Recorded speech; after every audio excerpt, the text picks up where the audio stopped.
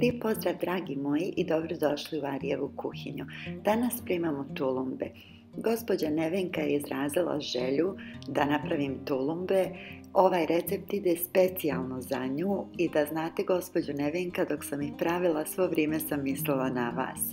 Dragi moji, vjerovatno e, su neki od vas izbjegavali da prave tulumbe jer im iz nekog razloga nisu uspijevale ja vam garantujem nakon što ih napravite ovako kako ću vam pokazati da će vam uspjeti svaki put.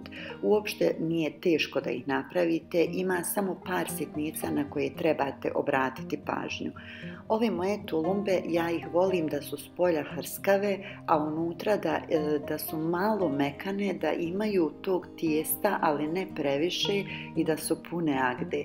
Nadam se da će se i vama svidjeti kao što se sviđaju mojim ukućanima.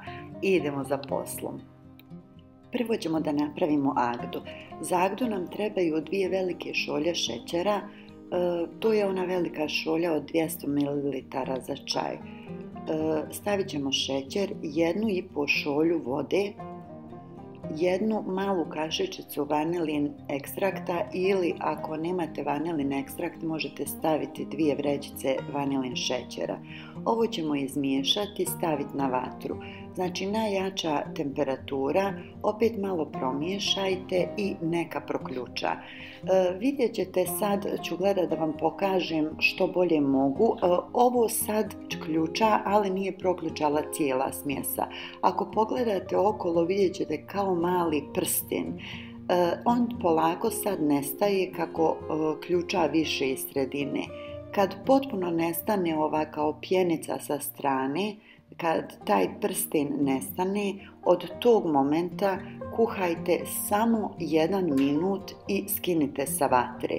Znači, dobit ćete srednje gustu agdu kakva nam treba za ovaj recept. E, kad budete ovako uzeli smjesu kašikom, ove zadnje kapljice sporo padaju, ali se ne rastežu. Ostane onako cijela kapljica, to je to što nam treba.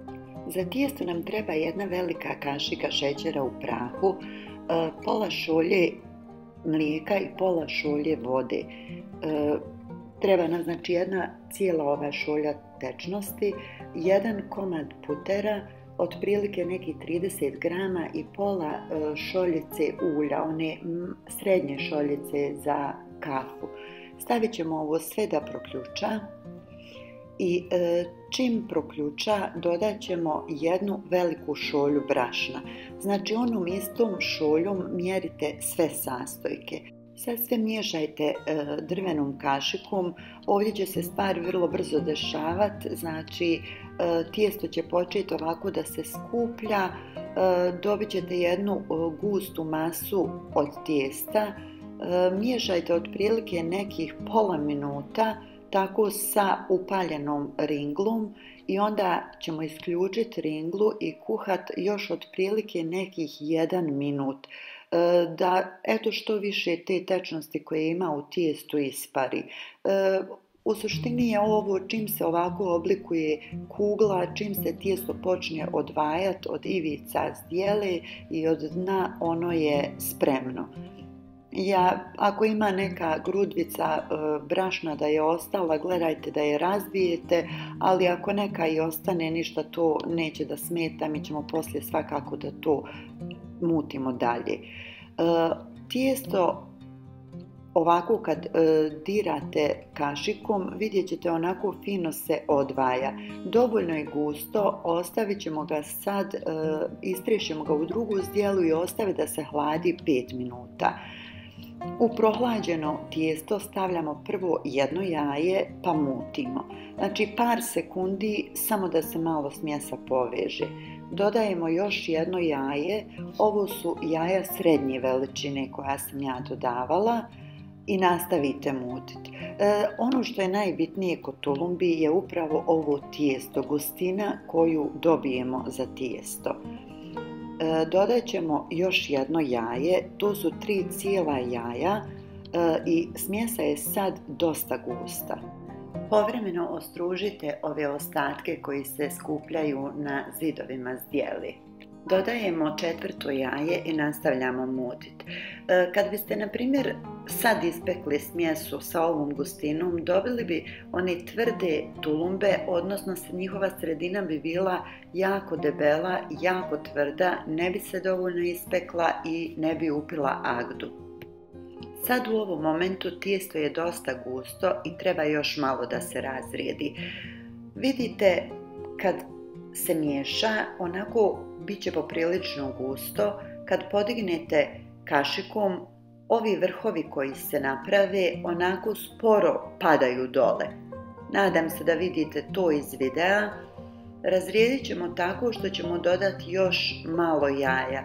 Sad vjerovatno neće trebati čitavo, pa ću ja uzeti jedno jaje, malo ću da ga umutim, pa ću da, da dodajem malo pomalo. Ako bi uzimala cijelo jaje neumućeno, moglo bi se desiti da mi bučne sve odjednom, tako da ću ga prvo malo umutiti. Smjesa nam ne smije biti ni previše rijetka. Ako je rijetka puno, onda će nakon što je stavite u ulje ona šara da se razlije i neće moći da se ispeče koliko god vi nju pekli. Zato je bitno da dodajete malo po malo jaja dok ne dobijemo smjesu koja treba. Ako bi vam se nekim slučajem desilo da ipak previše razrijedite smjesu, ništa nije upropašteno da ne brinete, stavite na primjer pola one srednje šoljice za kafu vode, dodajte malo ulja, neka proključa, pa dodajte par kašika brašna i skuhajte kao što smo na početku skuhali ono tijesto. Onda od tog tijesta uzimajte malo pomalo i dodajte u ovo tijesto koje ste napravili i koje vam je rijetko. Dodajte sve dok ne dobijete onu gustinu koja vam treba. Znači nemojte se brinut ako je bilo rijetko, to se da popraviti, ništa strašno. Ako mislite da je pregusto, dodajte još pomalo jaja, nije bitno koliko stoji u receptu. Bitno je da vi dodajete jaja i da miješate sve dok ne dobijete onu gustinu koja je potrebna. Bitno je svaki put kad dodajete jaja, čak i malu količinu, da do kraja izmutite tijesto, jer tek kad izmutite do kraja vidjet ćete u suštini koliko je gusto i koliko bi još trebali da dodate. Evo ovo je sad ta gustina koja bi bila idealna za tulumbe. I otprilike će vam svaki put kad stavite četiri ako su možda malo veća jaja, četiri će biti dovoljno, ako su ta srednja, možda ćete još pola morati dodati. Ulje nam ide hladno, znači u hladno ulje, ovdje imam pola litra ulja, e, istiskat ću tulumbe i sjeću ih sa makazama. Ova je moja šprica za tulumbe se dosta naradila. Imam je jedno 15 godina i napravila je puno, puno tulumbi. Znači, onako istišćite veličinu naravno koju vi želite. One mogu biti manje ili veće kako god vi volite da budu, ono što je bitno kod tulumbi je da ulje bude hladno i pečemo ih na srednje niskoj temperaturi. Moj šporet ide do 9, tulumbe pečem na četvorci svo vrijeme. E, jeste ovaj dio dosadan, od ovog momenta kad ste ih dodali u hladno ulje treba će 20 minuta otprilike da one budu gotove. Vidjet ćete, one će polako ovako početi da se vrte jer su još tanke i male. Vremenom onako postaju ovako deblje i sad više neće da se vrte, vi ih povremeno okrenite. Ja volim da koristim ovaj štapić za, za ražnjiće, njim je lagano da ih okrećem. One znači postaju sve veće i veće. Postepeno se peku i s polja i unutra, tako da će stvarno da vam budu fine. Jeste da ovaj postupak zahtjeva vrijeme, jer ćete svaki put posle nove ture morati da ohladite ulje.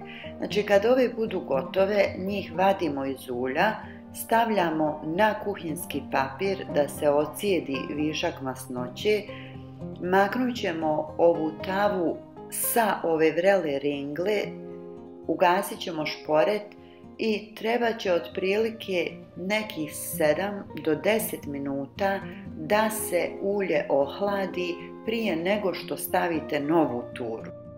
Zašto? To ću vam objasniti kasnije. Za sad nastavite da okrećete ove tulumbe e, da se ne bi desilo da one, na primjer, sa jedne strane budu dosta rumene, a da druga strana ne bude pečena. Neki bi u ovom momentu skinuli tulumbe, one su otprilike skoro pa gotove. Međutim, ja volim da budu skroz rumene. Od ovog momenta kad su ove boje, do momenta kad su skroz rumene, prođe otprilike neka 2 do 3 minuta. To je taman dovoljno da se one još bolje ispeku, da dobiju ovu lijepu boju, da postanu još hrskavije, tako da mislim da se isplati sačekati još neka dva, dva i pol minuta da biste dobili ovu boju.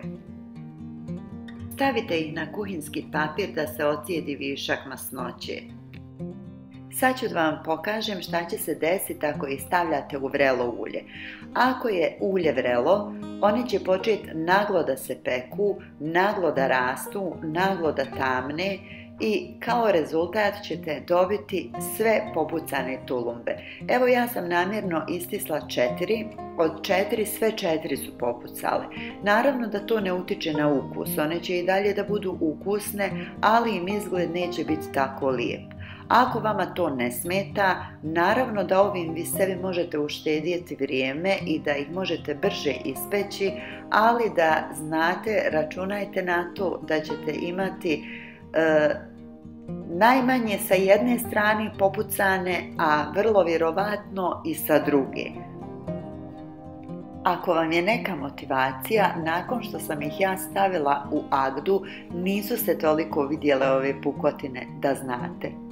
Kolumbe ćemo stavljati u hladnu agdu, držat ćemo ih nekih minuti ili dva, promješajte ovako povremeno da se one fino uvaljaju u agdu sa svih strana, povadit ćemo ih poredati u neku tepsicu, pa kad završimo sa svim tulumbama, ovu agdi što ostane prelićemo preko. Ove moje tulumbe mi pojedemo za dan do dva, dobijete otprilike 30 komada tulumbi srednje veličine. Ako ćete ih pojest za dan dva, ne trebate stavljati limun u agdu, međutim, ako će vam biti duže od, na primjer, od tri dana, stavite u agdu i jednu kanšičicu limunovog soka. Ove su sad stojale neki minut, minut i po. Ja ću vam pokušati pokazati kako one izgledaju unutra. Žao mi je, moja ova kamera jednostavno ne sarađuje kad hoću da snimim nešto izbliza, ona počne da muti. Nadam se da ćete da vidite. One su onako dosta e, mekane unutra, sočne su, taj dio koji ima tijesta je fino ispečen i on onako sav diše kad ih dirate. Znači nije uopšte tvrd, kao na primjer što bi bio da, da, nam je tijesto bilo previše gusto. Zato vodite računa da je to tijesto mekano jer će oni poslije ovako fino da se listaju. Dragi moji, to bi bilo to. Ja se nadam da sam vam sve objasnila u detalje. Ako sam ipak nešto propustila, slobodno mi pišite ovdje u komentarima. Pišite mi na mojoj Facebook stranici Arijeva kuhinja. Rado ću vam objasniti Znači, ako vam nešto nije jasno, nadam se da su vam se tulumbe svidjele. Ako jesu, podijelite ih sa svojim prijateljima, pretplatite se na moj YouTube kanal, besplatno je. Nakon što se pretplatite, ako želite primati obavijesti o svim novim receptima Arijeve kuhinje, stisnite malo zvonce u donjem desnom uglu. Hvala vam puno na gledanju, hvala vam puno na podršci koju mi pružate i do sljedećeg kuhanja ostanite mi zdravi i nasmijani.